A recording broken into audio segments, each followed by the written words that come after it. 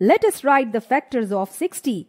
60 equals to 2 into 30 equals to 2 into 2 into 15 equals to 3 into 20 equals to 6 into 10 equals to 6 into 2 into 5 equals to 3 into 4 into 5 equals to 2 into 2 into 3 into 5.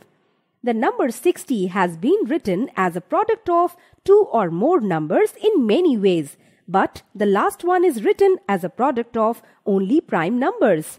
When a number is written as a product of prime factors, it is said to be in the prime factor form. Thus, the prime factorization of 60 is 2 into 2 into 3 into 5. Similarly, we express an algebraic expression as a product of irreducible factors. For example, 15xy is written as 3 into 5 into x into y and not as 3 into 5xy since the factor 5xy can further be expressed as 5 into x into y.